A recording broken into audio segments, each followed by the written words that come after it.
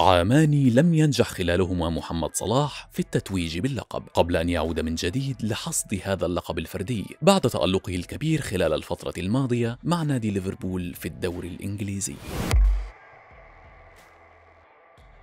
بعد موسم صعب خاضه محمد صلاح رفقة نادي ليفربول في ظل غياب العناصر المميزة في صفوف الفريق والخروج بأقل الخسائر من الموسم. بدأ صلاح يعود إلى وضعه الطبيعي في الموسم الحالي. تألق محمد صلاح بشكل كبير منذ اللحظات الأولى للموسم الحالي وعاد للمنافسة على لقب هداف الدوري الإنجليزي وساهم في تحقيق ليفربول للعديد من الانتصارات الكبيرة خلال الفترة الماضية. في المباراة الأخيرة لنادي ليفربول أمام نادي برايتون نجح محمد صلاح في قيادة الريدز لتحقيق الفوز بثنائية نظيفة سجلها بنفسه بعدما احتفظ بمكانه على رأس قائمة مسددي ركلات الترجيح في المباريات. محمد صلاح توج أخيرا بجائزة فردية غابت عنه على مدار عامين ماضيين مع نادي ليفربول في ظل الظروف الصعبة التي عاشها مع الفريق خلال الموسم الماضي في البطولة المحلية. 48 ساعة فقط بعد التألق الكبير في مباراة برايتون كانت كافية ليتوج محمد صلاح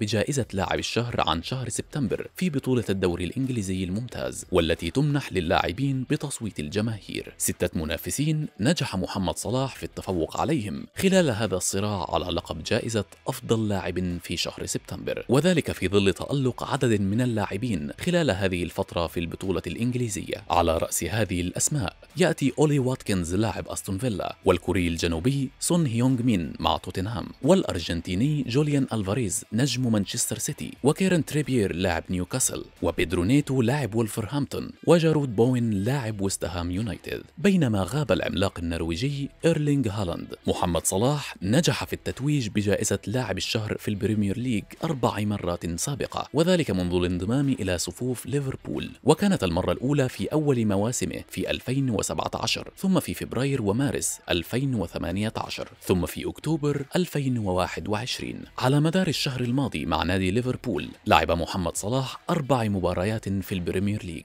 سجل خلالهم هدفين أمام أستون فيلا وويستهام في مواجهتين شهدتا الانتصار للريدز. كما نجح أيضا في صناعة ثنائية أخرى في انتصار الفريق على وولفرهامبتون في مباراة صعبة. الخسارة أمام نادي توتنهام كذلك شهدت إلغاء هدف صحيح للويس دياز. والذي كان من صناعة محمد صلاح وهو ما اعترف به الاتحاد الإنجليزي لكرة القدم. وقام بمعاقبة حكام الفار في هذه المباراة. حتى الآن سجل محمد صلاح سبعة أهداف في البريمير ليج ليكون الثاني في سباق هداف البطولة خلف النرويجي إيرلينغ هالاند صاحب التسعة أهداف. كما سجل صلاح هدفا في الدوري الأوروبي.